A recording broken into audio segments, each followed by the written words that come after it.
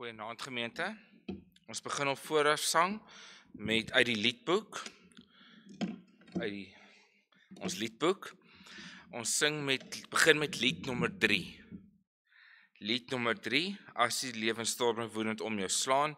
Ons sing daar vers 1 en vers 3. Vers 1 en 3 van lied 3.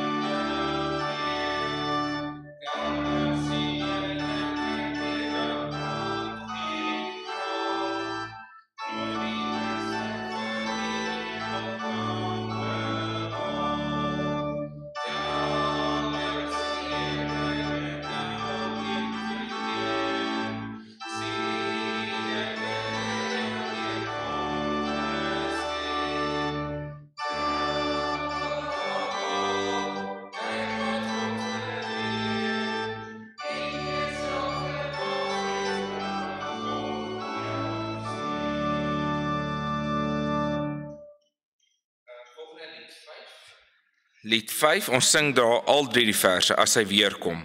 Lied 5 vers 1, 2 en 3.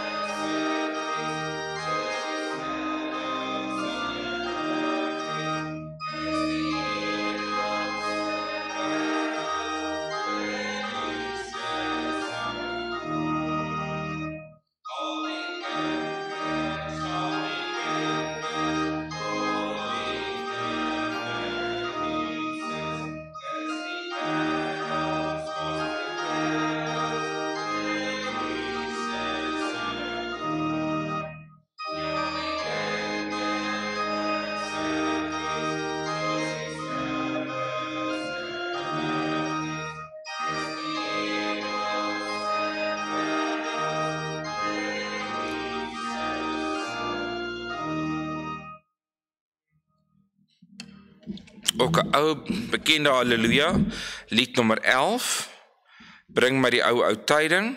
Baie mooi haleluja ons sing daar vers ons sing net vers 1 of nee kom ons sing vers 1 en vers 2 vers 1 en vers 2 van lied nommer 11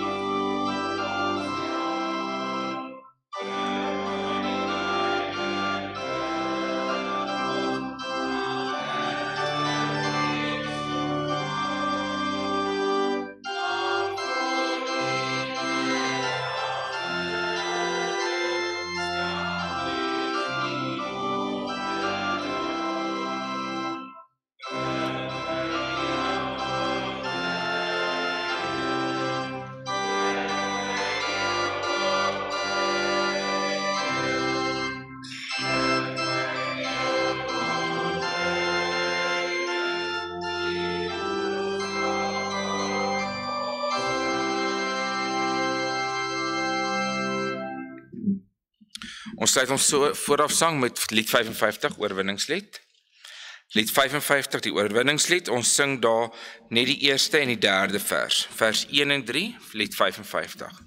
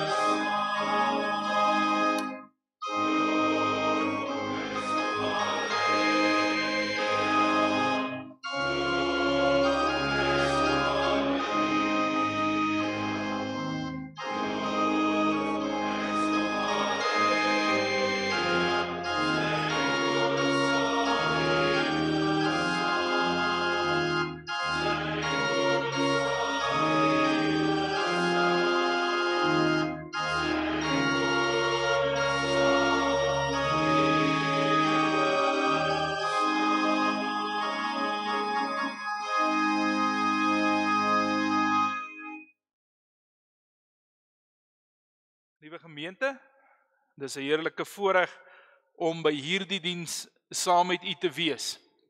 Om ook in die naam van die Here byeen te kan kom en voor hom te kan kom stil raak. Mag hierdie diens ons elkeen opbou en versterk in die Here. Ons loflied na die uitspreek van die seën is gesang 41 vers 3 en 5 na die seën Gesang 41 vers 3 en 5. Dan kom ons staan, dan sing ons saam Gesang 18, die een vers daar, dan bly ons staan vir die begin van hierdie diens.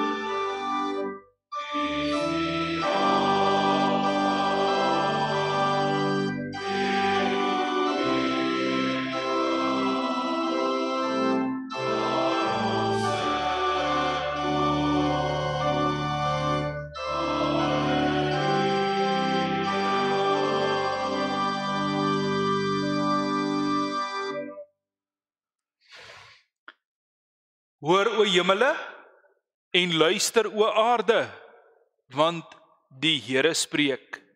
Geliefdes, genade vir julle en vrede van God ons Vader en die Here Jesus Christus deur die kragtige werking van die Heilige Gees. Amen.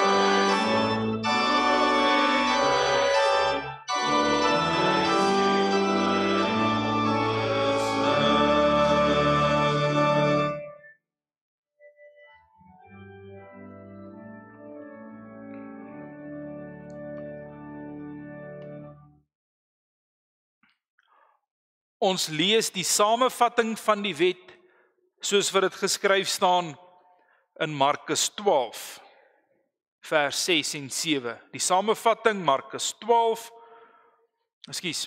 Markus 12 vers 28 tot 34. Ons bely ons skuld wanneer ons saam sing Psalm 38 vers 6 en 7. Ons skuldbelydenis deur Psalm 38 vers 6 en 7 en na die genadeverkondiging sing ons saam as geloofsbelydenis Gesang 84 vers 1 7 en 8. Ons bely ons geloof wanneer ons saam sing Gesang 84 vers 1 7 en 8. Liewe gemeente, kom ons lees nou die samevatting van die wet soos wat die Here Jesus dit leer in Markus 12 vers vanaf vers 28. En toe een van die skrifgeleerdes wat bygekom het, hulle hoor rede toos en wis dat hy hulle goed geantwoord het, vra hy vir hom: "Wat is die eerste gebod van almal?" En Jesus antwoord hom: "Die eerste van al die gebooie is: Hoor Israel, die Here ons God is 'n enige Here. En jy moet die Here jou God lief hê uit jou hele hart en uit jou hele siel en uit jou hele verstand en uit jou hele krag. Dit is die eerste gebod.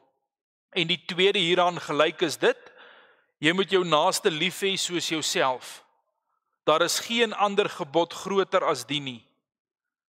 En die skrifgeleerde sê vir hom: "Goed meester, U het met waarheid gesê dat God een is en daar geen ander is as hy nie.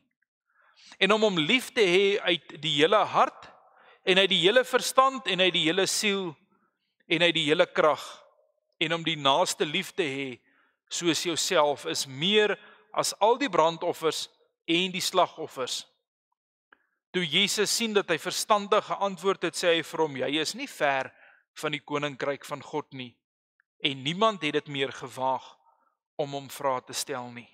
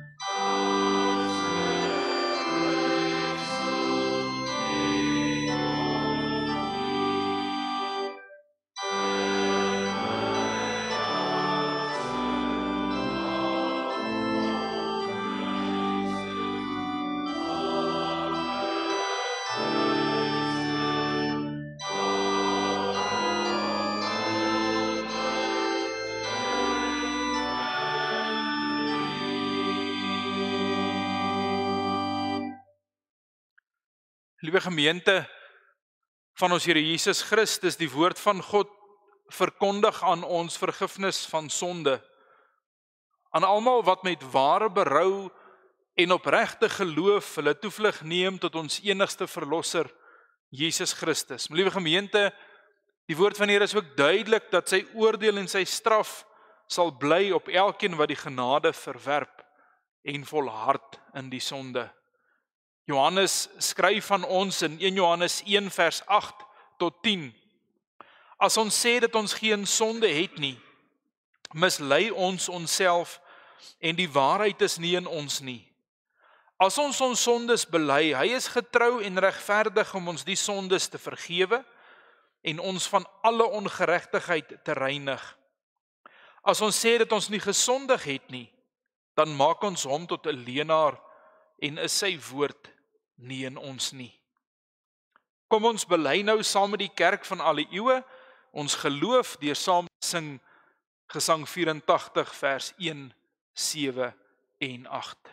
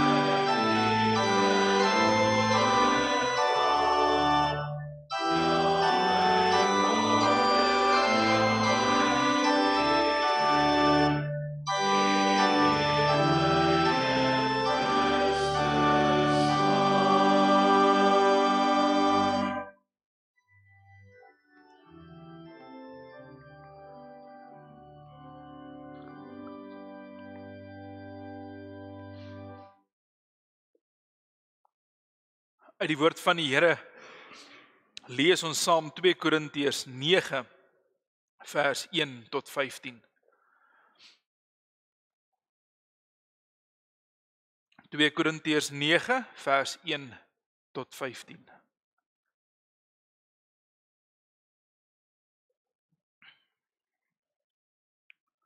Voordat ons saam lees die woord van die Here, kom ons bid saam.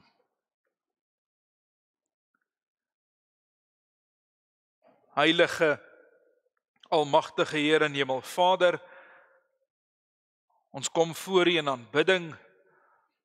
Ons besing U lof en U eer. Met dankbaarheid dat ons weer vanaand hier kan wees. Here dat U ons gelei het op ons weg. Dit beskik het om ons byeen te roep in U naam. Here om ook te kan weet al is ons dan uitgedun waar 2 of 3 in u naam saam is, daar is u. Dat ons ook hierdie diens nie maar as vanselfsprekend sal aanvaar nie, maar 'n kosbare geleentheid om te mag kom voor die Here van hemel en aarde.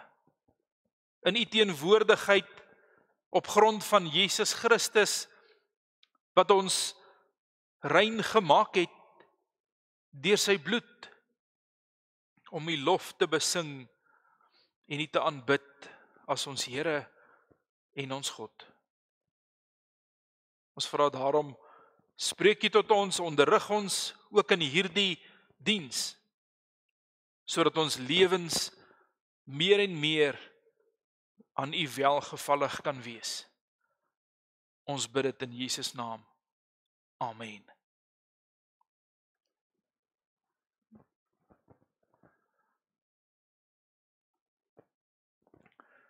2 Korintiërs 9 van vers 1 af. Want wat die diensbetoning aan die heiliges betref, is dit vir my oorbodig om aan julle te skrywe. Want ek ken julle bereidwilligheid waarop ek oor julle by die Macedoniërs roem dat Agaie 'n jaar gelede gereed was en dat die ywer wat van julle uitgegaan het baie ander aangespoor het. Maar ek het die broeders gestuur sodat ons roem oor julle in hierdie geval nie verydel mag word nie, dat soos ek gesê het, julle gereed kan wees. Sodat nie miskien as daar Macedoniërs saam met my kom en julle nie gereed vind nie, ons om nie te sê julle nie beskaam word in hierdie vertroue van ons roem nie. Ek het dit dus noodsaaklik geag om die broeders te versoek om vooruit te gaan na julle toe en julle vroeër aangekondigde dankoffer vooraf in orde te bring sodat dit gereed kan wees as 'n dankoffer en nie as iets wat afgepers is nie. Maar dink daaraan wie spaarsaamlik saai sal ook spaarsaamlik maai en wie volop saai sal ook volop maai. Laat elkeen gee soos hy hom in die hart voorgenem het, nie my droefheid of uit dwang nie, want God het 'n blymoedige gewer lief. En God het mag om alle genade oorvloedig oor julle te laat wees, sodat julle altyd in alle opsigte volop kan hê en oorvloedig kan wees tot elke goeie werk. Soos geskrywe is, Hy het uitgestrooi. Hy het aan die armes armes gegee. Sy geregtigheid bly tot in ewigheid.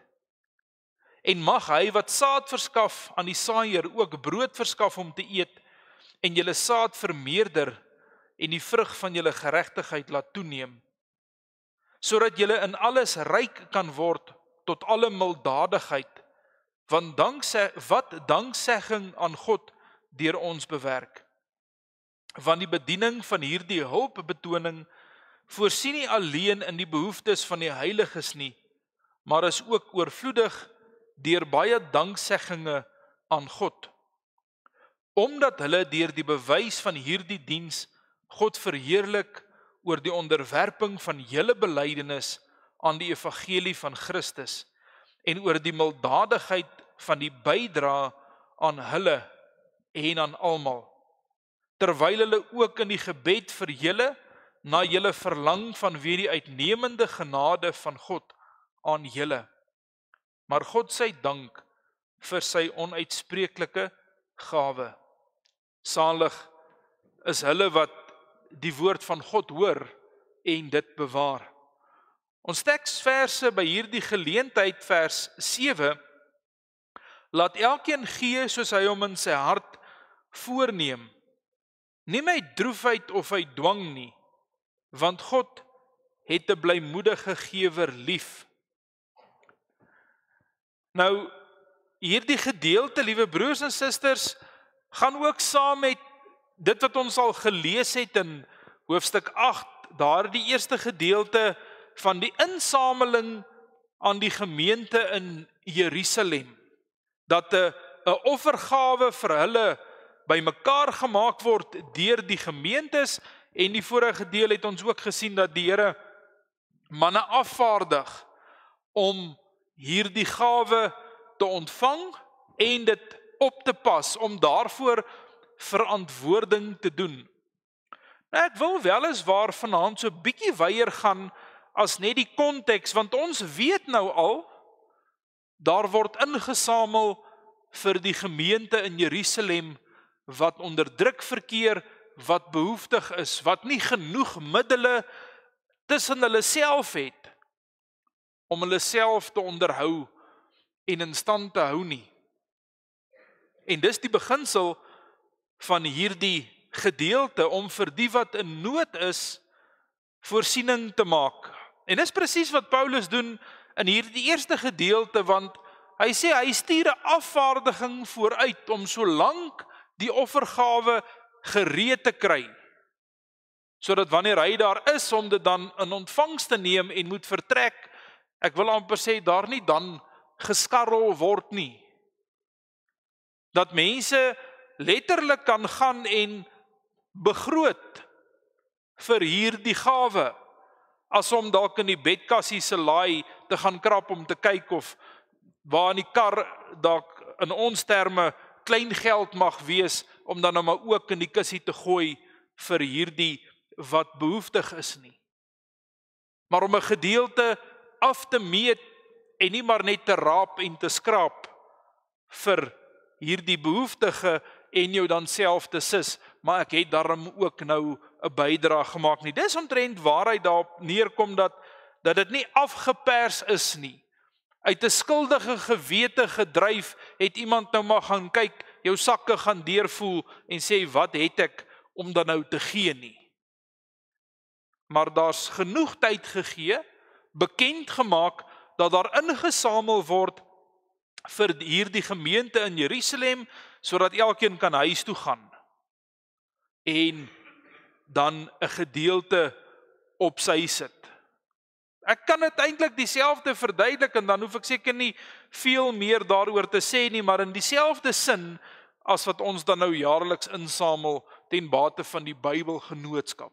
Bietjie vir bietjie maak ons hierdie pullehouertjies bymekaar en is daar 'n voortdurende herinnering onthou vir hierdie insameling waarmee ons besig is. Dit kan dadelik dan sommer vir die idee en die insig gee dat so 'n insameling niks nuut is nie. Dis nie maar iets net wat tussen die kerke en die Bybelgenootskap uitgedink is nie. Hier lees ons dit dat Paulus alreeds so 'n instelling reguleer. Maar Paulus, liewe broers en susters, het gronde waarop hy staan wanneer hy daardie versoek rig om 'n gawe te voorsien en te gee ten bate van Jerusalem se gemeente. Ek kan vele gedeeltes uit die Ou Testament gaan haal en ek gaan vanaand net 'n paar noem in Spreuke. Spreuke 3 vers 27 sê hou 'n weldaad nie terug van hom aan wie dit toekom as dit in jou mag is om dit te doen nie. Spreuke 14 vers 31 skryf die Spreuke skrywer wie die geringe verdruk versmaat sy maker Maar hy wat hom oor die behoeftige ontferm, eer hom. Met ander woorde, hy wat hom oor 'n behoeftige ontferm, eer sy maker, die die gewer van die gawes word geëer wanneer 'n mens 'n gawe gee of dan ook bymekaar maak. Spreuke 19 vers 17 sê wie hom ontferm oor die arme leen aan die Here en hy sal hom sy weldaad vergelde. En dink nou maar daaraan dat die Here Jesus daar in Matteus 24 sê waar hy praat van die skape en die bokke wat geskei gaan word met die groot afrekening en hy sê maar ek het behoeftes gehad, ek was honger en naak en dors en julle het vir my gegee. Julle het in my behoeftes voorsien en dan vra die skape daar aan die Here Jesus se regterkant maar wanneer het ons dit aan u gedoen? Waar het ons u honger gesien of siek of naak? En al hierdie weldade aan u gedoen en die Here Jesus se antwoord is dan as julle dit aan een van hierdie gedoen het wat onder ons en tussen ons woon en in in bly, het julle dit aan my gedoen. Die keersy daarvan is dat die Here Jesus vir die bokke sê en soveel as julle dit nie aan hulle gedoen het nie, het julle dit nie aan my gedoen nie. Daarom dat die Spreuke skrywer dan skryf wie om ontferm oor die arme leen aan die Here en hy sal hom sy weldaad vergewe. Ek is van mening dat Spreuke 19 vergelde, ekskuus, hy sal hom sy weldaad vergelde, dat Spreuke 19 vers 17 onlosmaaklik deel maak van Psalm 8 Psalm Matteus 24 en 25 oor die skeiding van die skape en die bokke dat die Here Jesus net sowel hierna Spreuke ook kon verwys dat dit nie iets niets is wat hy daai dag vir die mense leer wat hulle nog nooit gehoor het nie. In Spreuke 28 skryf die Spreuke skrywer wie aan die arme gee sal nie gebrek ly nie, maar hy wat sy oë toemaak word swaar vervloek. Weer het die Here Jesus gesê soveel as julle dit nie aan een van hierdie gedoen het nie, het julle dit aan my nie gedoen nie. Liewe broers en susters, barmhartigheid is so oud soos die kerk self en selfs wil ek sê ouer. Want die getuienis daarvan is nie maar net om aan iemand te gee nie. Die gawe wat 'n mens gee is in die eerste plek 'n offer aan die Here. As die een wat vir jou gawes gee wat vir jou die verstandelike vermoëns gee wat vir jou die liggaamlike vermoëns gee om 'n dag se taak te kan verrig dat dit nie uit jouself uit is nie dat dit nie jou eie voortreffelikheid is nie so die gee van daardie gawe is 'n belydenis dat en 'n erkenning die een wat dit die gewer leef self van die gawes wat die Here gee. Daarom dat ons opgeroep word om dit so ook te doen. 'n Genadegawe van iets wat jy nie verdien het nie. En hier kan ons nou maar as die eerste voorbeeld aan dink Adam en Eva daar in die tuin van Eden. Nadat hulle gesondig het en hulle gewaar geword het dat hulle naak is, kom doen God aan hulle barmhartigheid. Ek wil nou so op 'n manier sê die eerste barmhartigheidsprojek wat geloods is, is ook 'n klere projek waar vir mense wat naak was van die sonde 'n stel klere gegee is om die gevolge van die sondeval te bedek. Hulle was in 'n posisie wat hulle niks vir hulle self kon doen nie. Hulle het in opstand gekom teen God en hy ontferm hom oor hulle. Hulle het hom willens en wetens verag. Nietemin versorg hy hulle. Wanneer ek met ander woorde dan in besonder diens van barmhartigheid doen, en gee vir iemand wat nie daartoe in staat is om vir my te kan teruggee nie. Is dit 'n belydenis weer eens en 'n getuienis dat ek 'n bietjie begrip het van wat die Here vir my gedoen het. Van die gawes wat ek ontvang wat ek nie verdien het nie. Wat ek niks het om op aanspraak te maak nie en daarom dan vir iemand gawes te gee wat my nie daarvoor kan vergoed nie. Liewe broers en susters,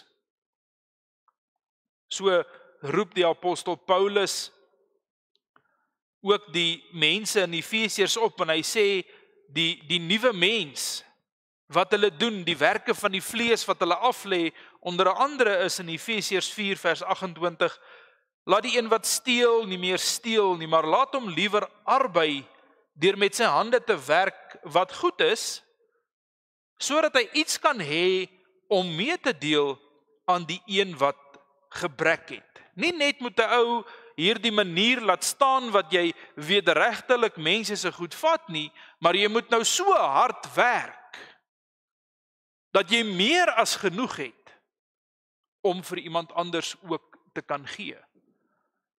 En ek dink in hierdie opsig moet ons dikwels maar ons kop in skaamte laat sak en nie net in skaamte in skaamte nie in belydenis waar ons maar soms kan grom en brom dat 'n mens jou hele dag by die werk sit en aan die einde van die dag dan is daar 'n ou by 'n winkelsentrum wat kom bak aan staan.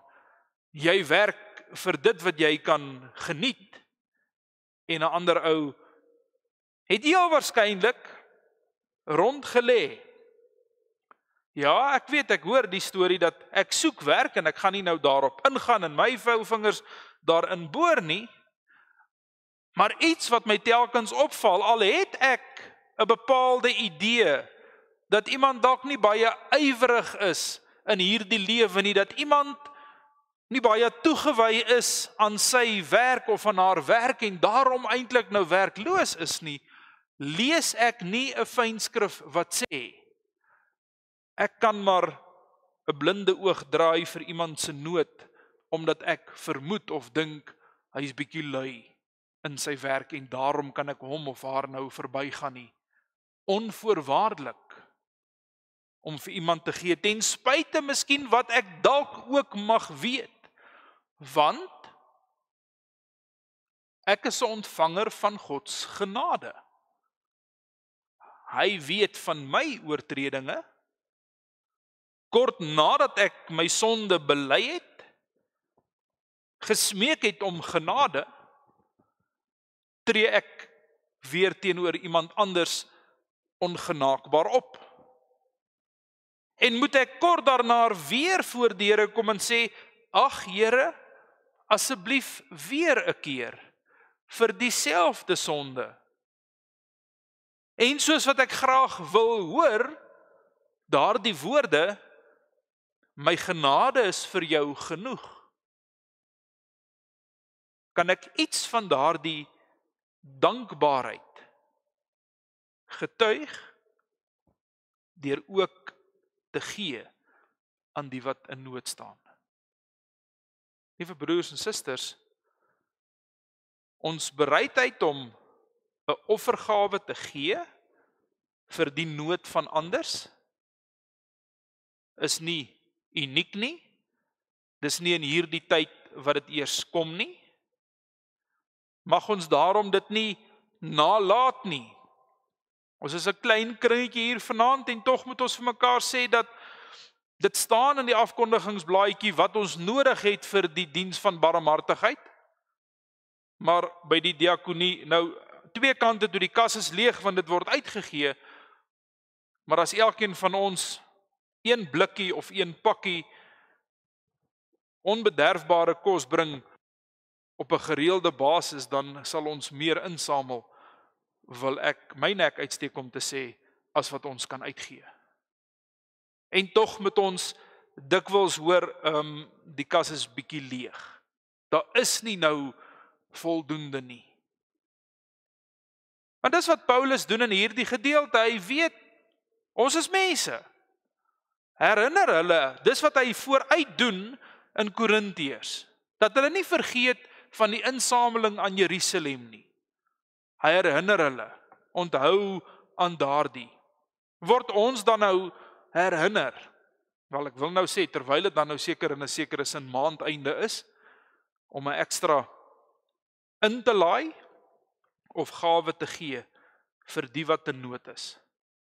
Dink maar aan die genade wat elkeen van ons ontvang het van ons Here.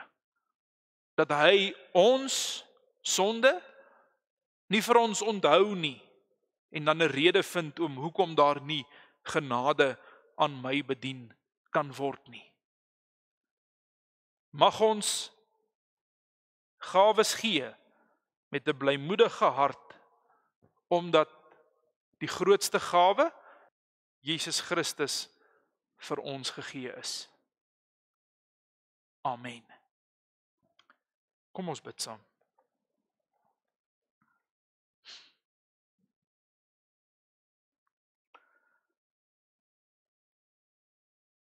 Almagtige Here en Hemelvader, ons kom in diepe dankbaarheid voor U. Here dat ons genade vind in U oë. En dat U ons sonde ons nie toereken nie. Dat ons vrygespreek is in Jesus naam. Vader, ons moet kom bely dat ons dan ook soms nie blymoedige gewers is nie. Ons weet ons moet 'n bydra maak. Maar kan dit dalk nalat of uitstel? Ek sal 'n volgende keer of môre.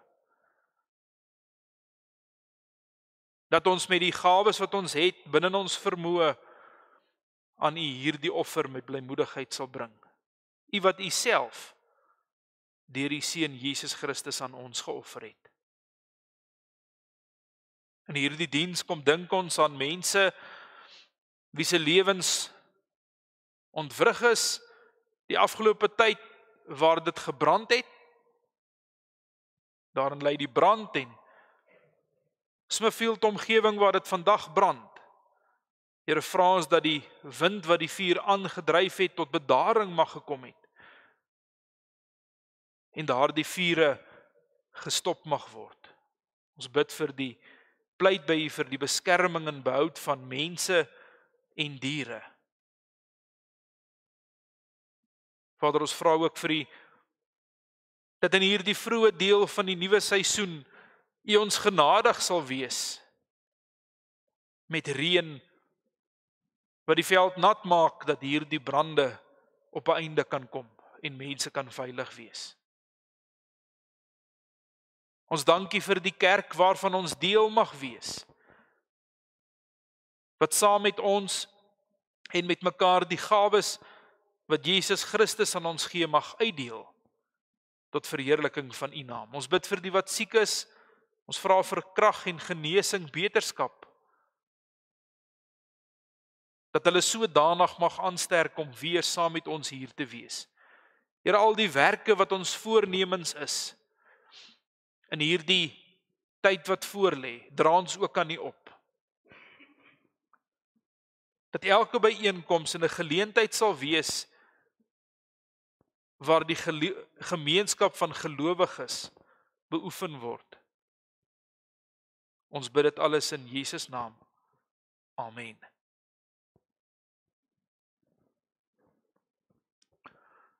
Daar sal nou geleentheid wees om die Here te dien met ons offergawe.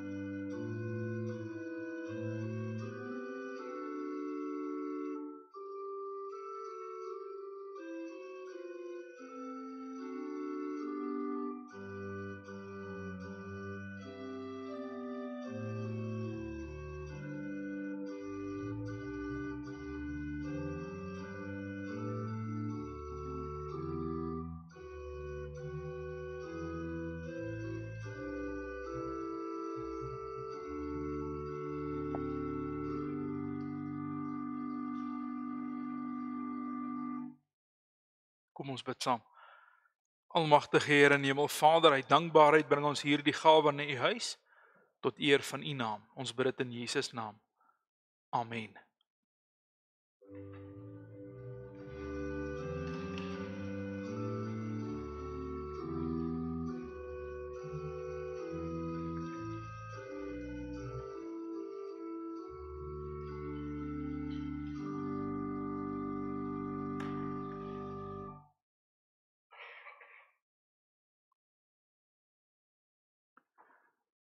Kom ons sing saam Gesang 129 vers 1 2 en 3.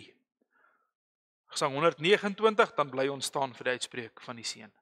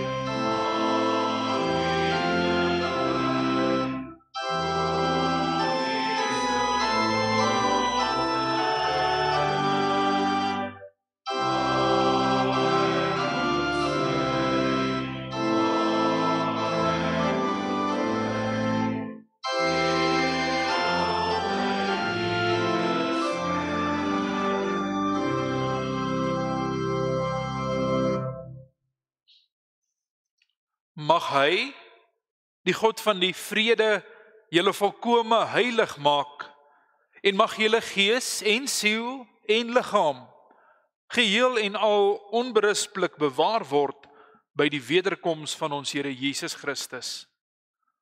Amen. Amen.